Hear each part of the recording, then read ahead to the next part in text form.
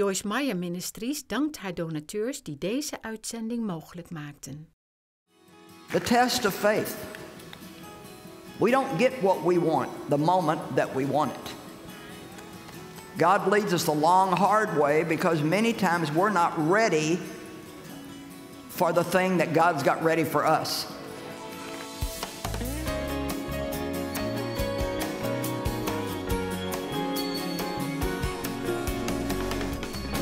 I want to talk to you about being interrupted by God.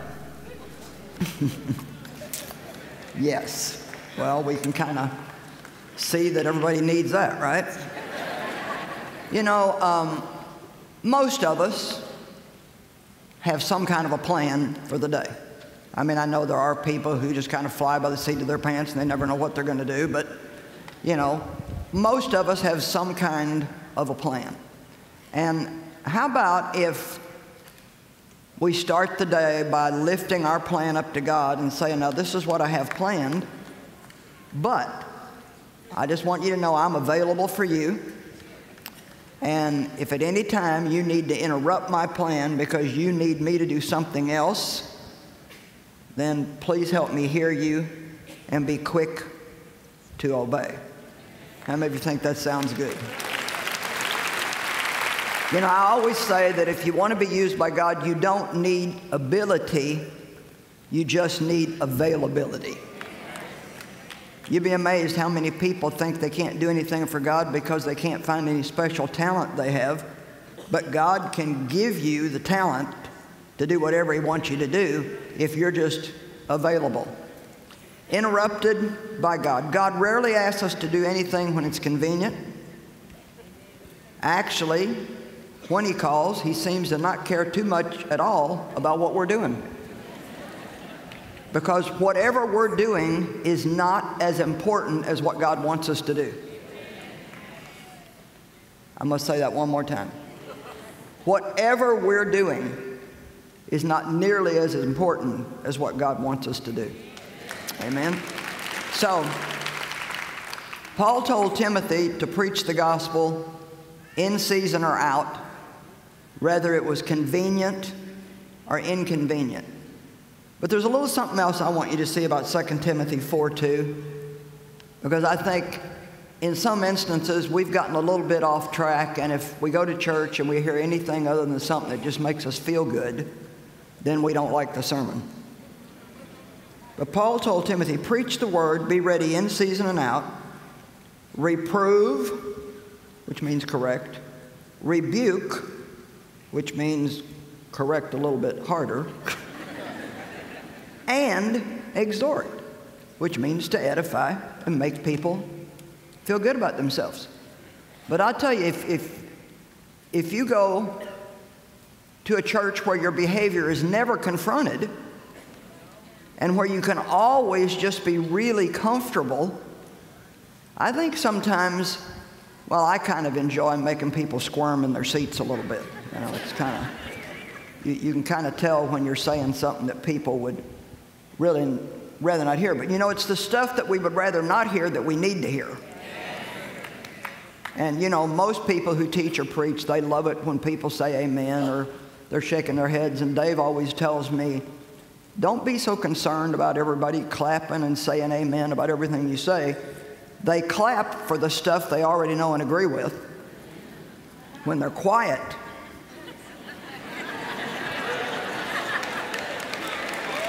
Come on.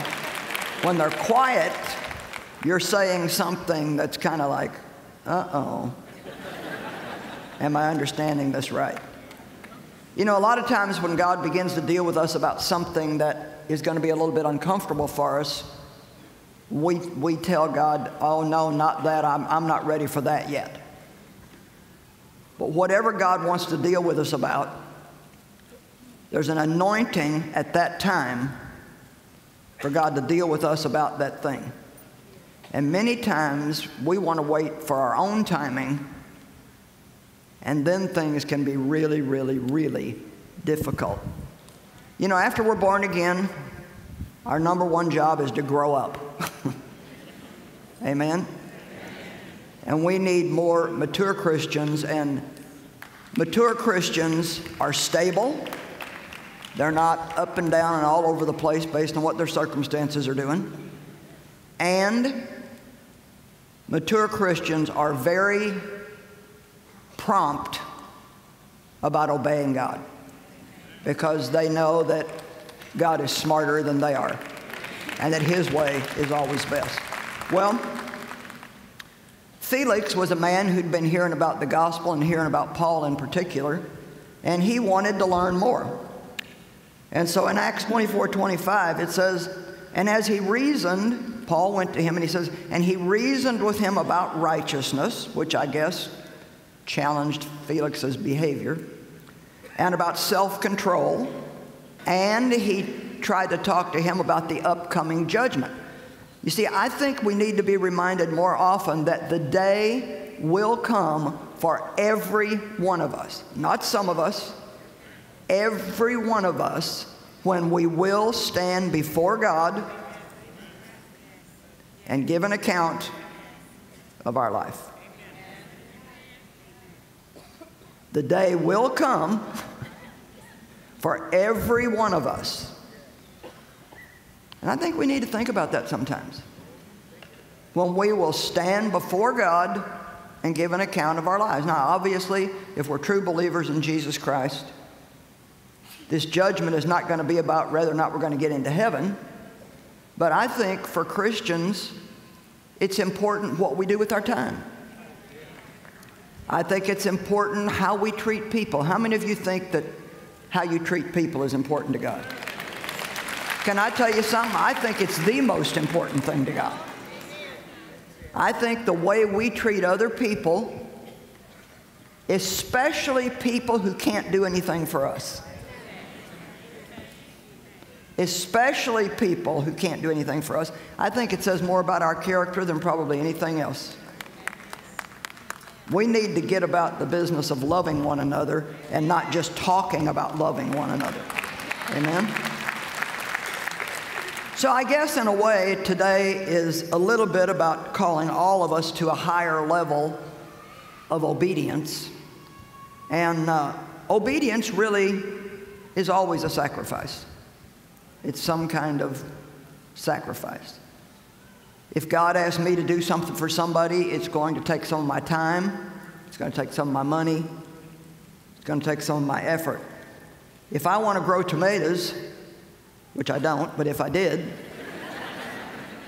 and I had a package of tomato seeds, I could not ever have a garden full of tomatoes unless I sacrificed my seed. And so, seed, of course, can be money, it can be time, but I believe that every act of obedience or disobedience is a seed that we sow that will bring a harvest in our life. It'll either bring a harvest that we really like or it will bring a harvest that we don't like. The word convenient, and let me just say that I think in our society we're pretty addicted to convenience and comfort. Most of us, you know, we just, we're just not always very tough. You know, you go to some of these other places like third world countries or developing countries, and and I mean, the things that they don't have, and many of them are happier than we are with all the stuff that we've got. Matter of fact, one of the things we complain about is all the stuff we have that we have to take care of. So, um, we need to get ready to obey God quickly and do whatever it is He wants us to do. In Ecclesiastes 11:4, it says, "He who observes the wind will not sow, and he who regards the clouds will not reap." And really what that is basically saying is if you when God asks you to do something, if you won't do it unless all of your circumstances are perfect, then you'll never end up sowing, and if you don't sow, you'll never end up reaping. So we we need to get the understanding that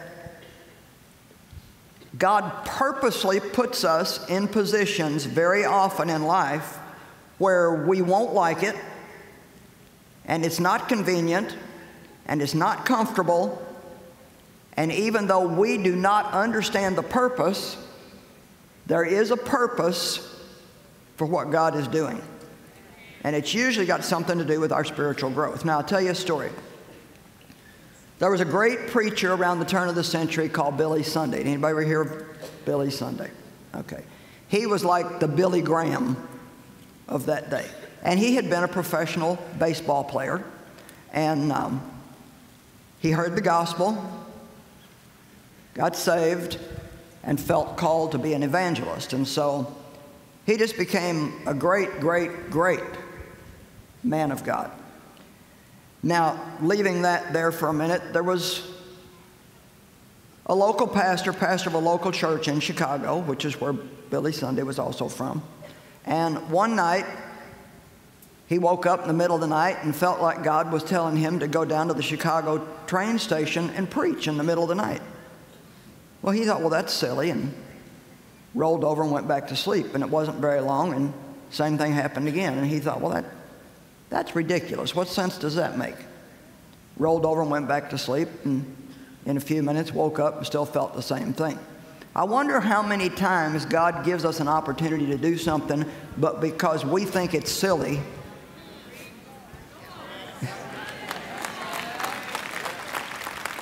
or it doesn't make any sense, we just kind of blow it off and don't do it. Well, I guess the man was mature enough to finally realize it was God talking to him, and although it didn't make any sense at all, he gets up in the middle of the night, gets dressed, goes down to the train station, and he ends up actually one level below where the trains were running. And there was nobody down there, but he just preached a, a gospel message, just a plain, basic gospel message. As far as he knew, he was not preaching to anybody. Didn't see anybody, didn't hear anybody.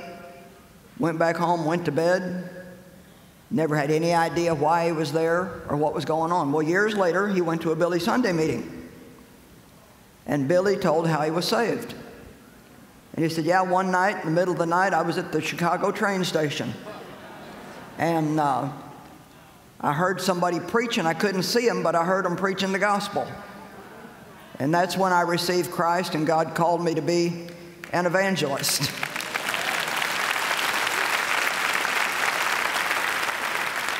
so I want you to remember that when you're out and about, you are the hands and feet of Jesus. And I can tell you the work that needs to be done in the world is not going to be done by a handful of preachers on a platform. We have to train you up that you go out and do the work of the ministry.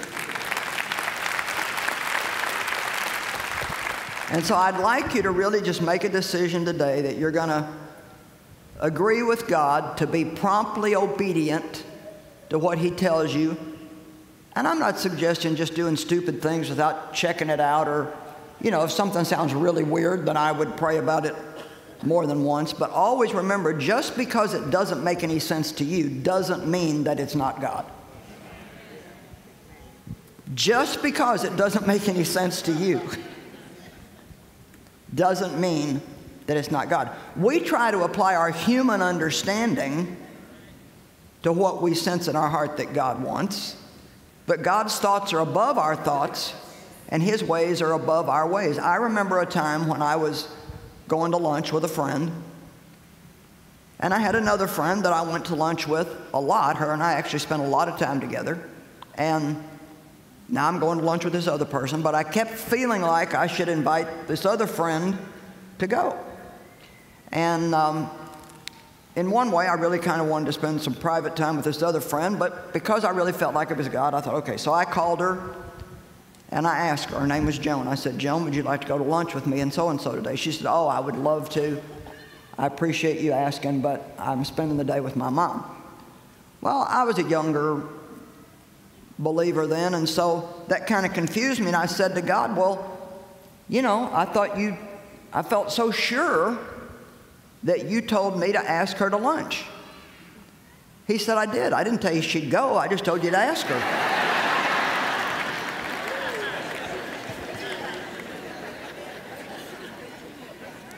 Come on, is anybody ready to start obeying God, even if it doesn't really make a lot of sense to you? See, I believe that life can and should be and will be a real adventure if we really every day say to God, I'm available for you, whatever you want. It could be smiling at someone, it could be telling somebody that the color they've got on looks good on them. I don't think we realize how many people out in the world are desperate just to believe that somebody sees them. So, we're going to obey God, whether it's convenient or whether it's inconvenient. Now, let's look at a few people that God called at very inconvenient times and see how they responded. Oh, and by the way, do you know that as far as I can tell, every person that Jesus healed, he was on his way to do something else? Come on, I want you to understand that. He was headed to Jerusalem, and blind Bartimaeus cried out, Jesus, thou son of David, help me. And the Bible says, the Amplified Bible says, and Jesus stood still. Don't you love that? He's going somewhere, and he stood still. I wonder how many times we're in a rush to get somewhere that's really not even all that important. And we pass by the man lying on the side of the road bleeding because we've got our plan and we don't want to be inconvenienced. Wonder how many more people we could help if we were willing to make a little bit of a sacrifice to do it. Matthew 4 18 through 22. While walking by the Sea of Galilee, Jesus saw two brothers, Simon, who's called Peter, and Andrew, his brother, casting a net into the sea, for they were fishermen. And he said to them, Follow me, and I will make you fishers of men. Immediately, they left their nets and followed him. Now, you know, we read this stuff, and I don't think that we think that much about it, but if you really stop and think about this, how amazing is that? They didn't, I guess, didn't know who Jesus was. Maybe they'd heard about him. Maybe they hadn't heard about him. And I don't know, maybe we could say, well, there must have been something really special about Jesus that people would do that. But whatever the case is, they had a plan. These people were businessmen, they had fishing businesses. If we go on and read, verse 21 says, And going on from there, he saw two other brothers, James the son of Zebedee and John his brother, in the boat with Zebedee their father, mending their nets, and he called them, and immediately they left the boat and their father and followed him. They just walked off from everything, like when God called Abram to leave everything that he knew and was comfortable with and go to a place that I will show you. He wouldn't even tell them where he was, where he was going to send him. And if we get around to it, you'll see. I mean, Abraham basically just wandered around for years and years. And you know, he'd pitch a tent one place, and then pretty soon God would tell him to move, and he'd pitch a tent somewhere else, and God would tell him to move. And, you know, he's doing all this stuff because God had told him, if you'll do this, I'll bless you and I'll make you a blessing. Well, how many of us are willing to wait for years.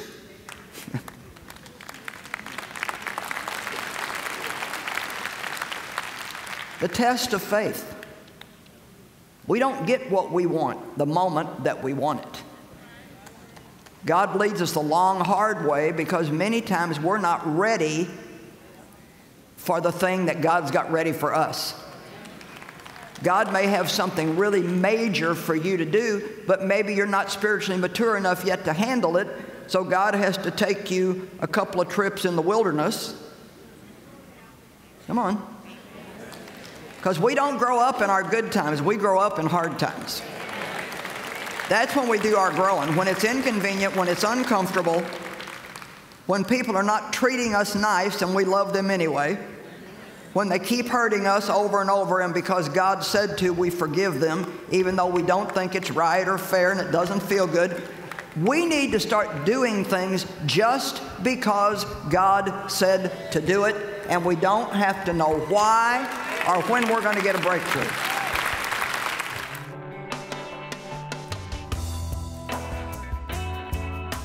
Always allow God to interrupt our lives anytime He wants to. We should lift up our plans to Him each day and be sensitive to what it is that He wants us to do.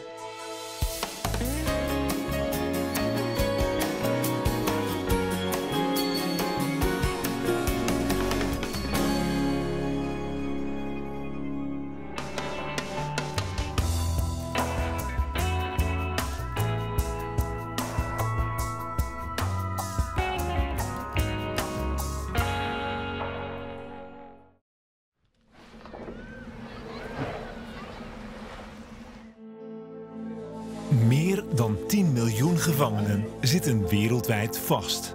It's a hostile territory, prison. And I'm speaking proof of that. Zij die achter zulke muren leven zijn mensen. En Jezus vraagt ons om naar hen om te kijken. I'm here for third degree burglary. I have a lengthy sentence of 400 months.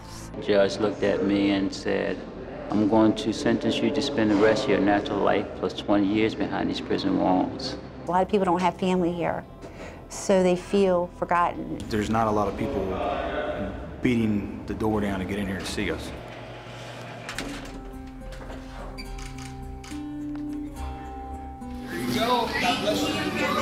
that outreach of the hand to touch their lives in a personal way, to, to come visit them, to, to see that somebody is really thinking about them, that somebody cares for them on the outside. You're giving to people that really are like at the bottom of the totem pole.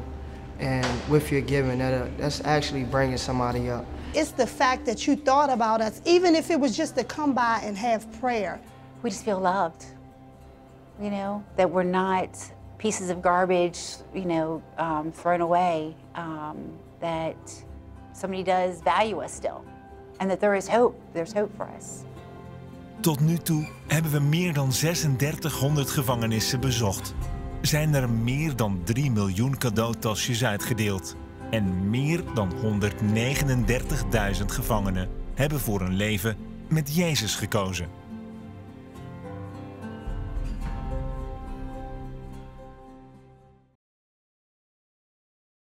In het leven lopen we hier en daar butsen en schrammen op.